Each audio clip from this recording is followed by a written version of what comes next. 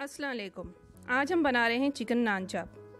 अगर आपको हमारी रेसिपी पसंद आए तो इसे सब्सक्राइब ज़रूर कीजिए और बेल आइकन को क्लिक करना ना भूलें, जिससे आपको हमारी नई रेसिपी की नोटिफिकेशन मिल जाएगी।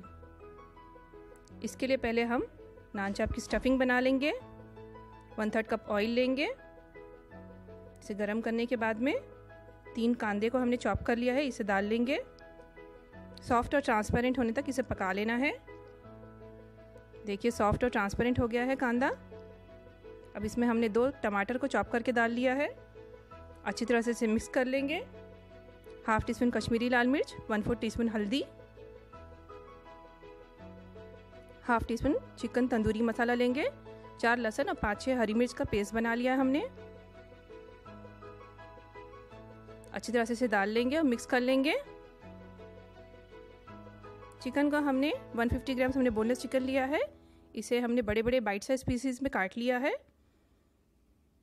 अच्छी तरह से इसे डाल के मिक्स कर लेंगे।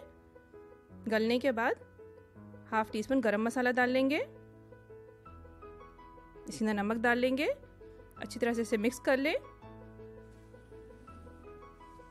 कोतमीर डाल लेंगे। इसे अच्छी तरह से मिक्स कर लेना है। ये मिक्सचर बनके तैयार हो गया है। इसे ठंडा करने रख देंगे। तीन आलू लिए हमने, इसे उबाल लिया है, इसे छिलका निकाल के अच्छी तरह से इसे मैश कर लेना है। इसके अंदर हम चिकन का मसाला डाल लेंगे।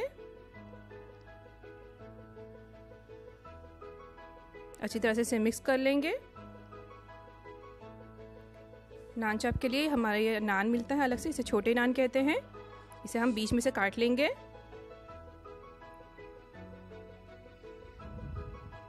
अब इसके अंदर हम आलू और चिकन का मसाले को मिक्स स्टफिंग कर लेना है।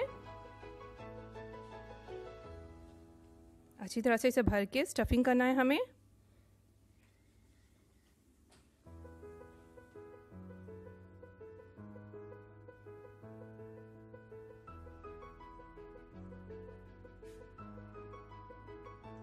ऊपर से हम कवर कर लेंगे इसे नान से। तवे को गरम कर लेना है। इसके ऊपर हम ये नान को रख लेंगे। मेल्टेड बटर लेके हम ऊपर से इसे ब्रश कर लेना है। लो फ्लेम पे हम इसे पकने देंगे पाँच मिनट के लिए। पाँच मिनट के बाद आप इसे फ्लिप कर लेंगे। फिर से पाँच मिनट के बाद आप इसे फ्लिप कर लें। पाँच मिनट के बाद नान चप तैयार है। इसे बीच में से काट लें आप। चार पीसेस या दो पीस में काट सकते हैं। आप इसे नींबू और केचप के साथ में सर्व कीजिए। अगर आपको हमारी रेसिपी पसंद आए तो इसे लाइक कीजिए